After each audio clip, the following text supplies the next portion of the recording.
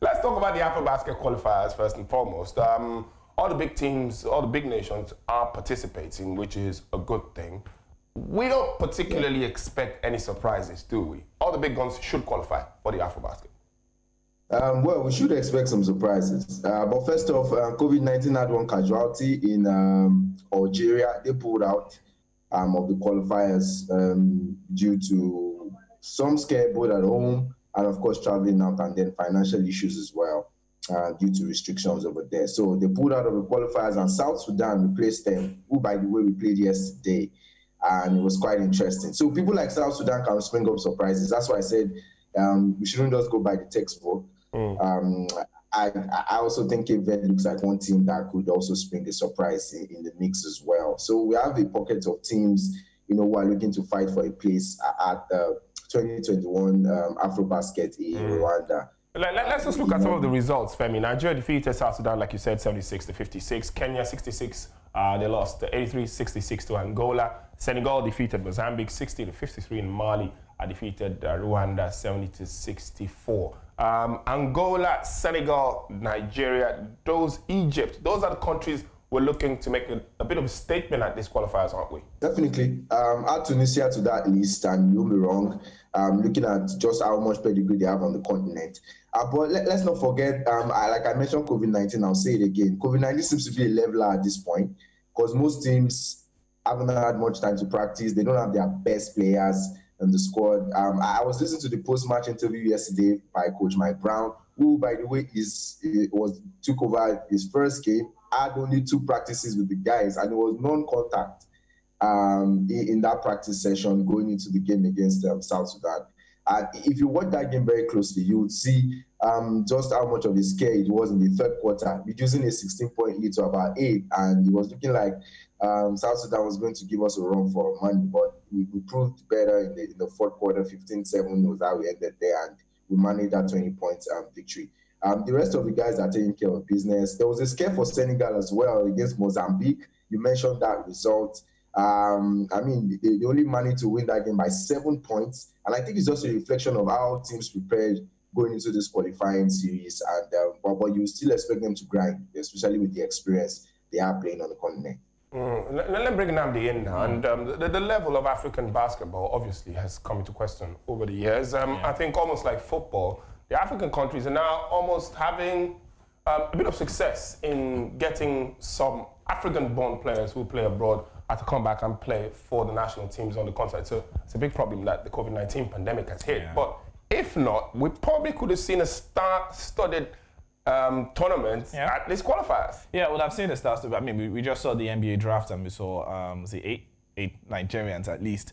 Uh, we know lots of Africans are out there playing in the NBA, which seems to be the most watched. I wouldn't say the best, mm. but the most watched league, uh, basketball league in the world.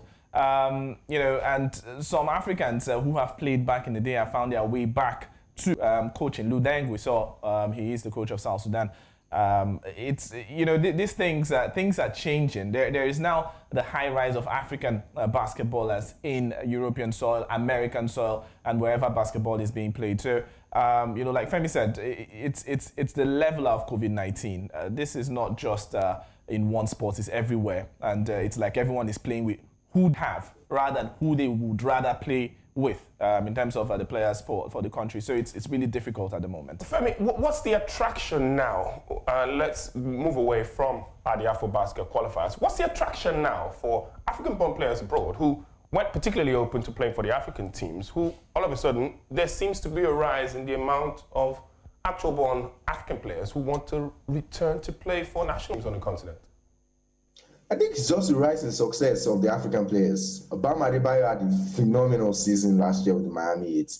Um, before injury struck, Victor Oladipo seems to be rising. You know, one um, couple of awards, most improved player, became an All-Star, two-time All-Star. Giannis Antetokounmpo, multiple MVP. So you could see there's a sudden rise of um, African um, players. Um, I'm using that word um, without any parenthesis there um, regardless of where they represent. So there's a direct link to want to say Africa has this um, gold mine of, of basketball talent. And if you look at it, even the NBA is directly even coming to Africa with the Basketball Africa League. You know, they, they, they they've established. Um, COVID 19 gain and they didn't allow that league to, to um, jump all in, in March. They tried to see if they could do it in December and still not going to be possible. So we have to wait to 2021. But you can see that um, with the success of all these players, a few of them I mentioned, and you look at just how much um, Africa has to offer, um, there's, there's, there's a direct attention. And I think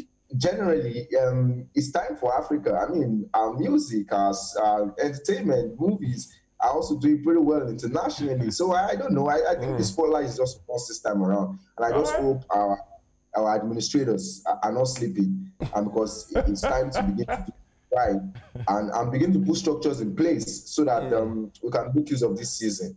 Because it's, it's summer now, um, we don't want to get back to winter and find out we didn't get any warm clothes in our closet.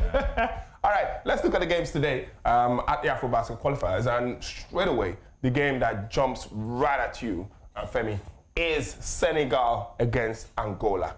It's just the qualifiers, but that's a huge game.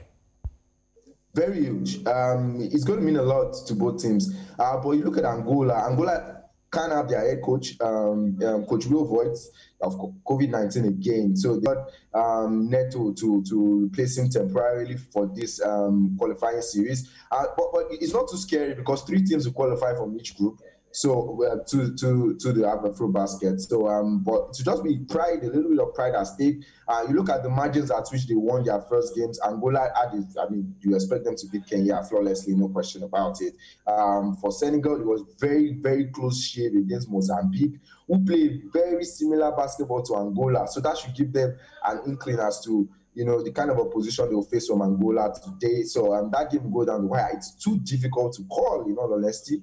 Um, mm. but but if you ask me, I still think um, Senegal will have the edge um, in this one based on just how consistent they've been um, in terms of the players, mm. groupings, and of course co- having their coach um, in complement, full complement, unlike Angola, who are in a rebuild in the last two three years um, mm. because all their stars are aging and they are bringing in new blood. So all they right. might have it a little bit tough against Senegal.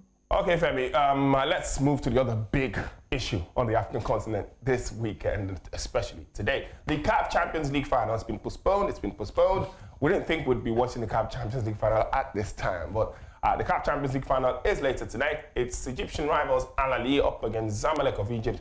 And now these two teams, um, it's, it's safe to say that they don't see eye to eye. Even in the, world, the, the AFCON qualifiers, yep. um, Zamalek and Ahly players were told by their separate clubs yeah. not to get too familiar with each other because don't forget they're the enemy going into the CAF Champions League final. You know, it's it's it's really big. Uh, president of Ahly, president of Zamalek, uh, players. Uh, you know, this this is a derby and a half. You want to watch it because of.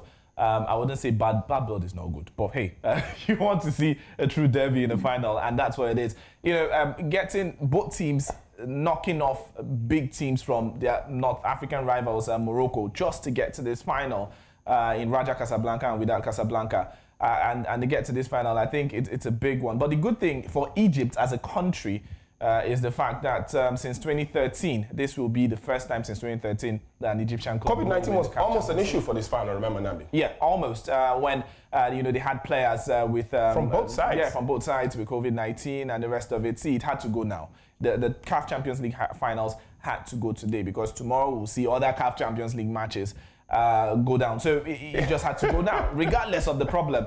Um, big players, and you know, we're talking about players getting COVID 19. They're not little players, Tolu. They're mm. big players, players who will make or who should have made a difference uh, in the final. Uh, but uh, they are not going to be available. But regardless, it's a CAF Champions League final. Femi, let's quickly take your thoughts around that CAF Champions League final. Yeah, I, I, I like the COVID 19 angle and I like how you know it, it, decided to pick three players on each side. So there's a balance um, they'll be missing on both ends. But, but it's great to see this. I heard it's the first time um, both teams will be meeting you know, the CAF Champions League final. Uh, so it's going to look at, and you look at the fact that it's eight wins for Al Ahly, five wins for Zamalek. So bragging rights would also be at stake there. Reminds you of the Manchester United Liverpool gist you always hear about Europe and dominance and you know all uh, sorry I mean um, the Premier League I mean to say uh, in there but, but it's good to see um, football in that side of the world they, they really love football I, I don't think yes we love football in Africa but the way the North Africans take football it's a totally different level mm. the passion you know, and everything that goes into it. So I, I hope we really have very good finals for TV.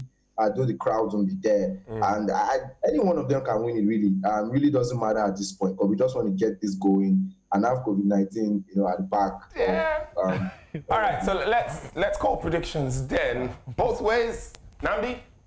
Um, I'll, I'll be greedy because I, I, I love Al Ahly, but they, they won the league um, as against Zamalek. But I think they, they will still win this one. They have an experienced coach in Pitso Mosimane. They have the players uh, to, to do this. It's going to be a slim victory, but Al Ahly will take this one.